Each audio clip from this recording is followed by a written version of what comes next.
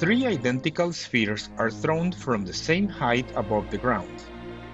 Sphere X is thrown vertically up, sphere Y is thrown horizontally, and sphere Z is thrown vertically down as shown in figures 1, 2, and 3 above, respectively. All three spheres are thrown with the same speed. Air resistance is negligible. Assume the spheres collide elastically with the ground.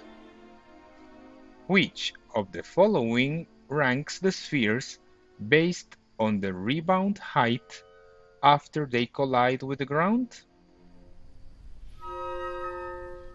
There are several ways in which we can consider this situation. From the point of view of conservation of energy, we need to consider that sphere Y will never reach a speed of zero relative to the ground because it is moving in a projectile fashion on account of having a horizontal component of its velocity. On the other hand, spheres x and z are moving vertically only. Therefore, each of them will rebound while moving only in the vertical direction until they reach a speed of zero.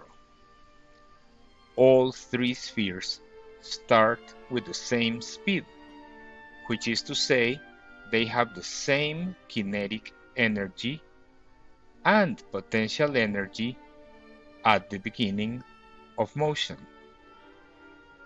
Since spheres x and z reach a speed of zero at the highest point, they will certainly go higher than sphere y. Therefore, the correct answer is E.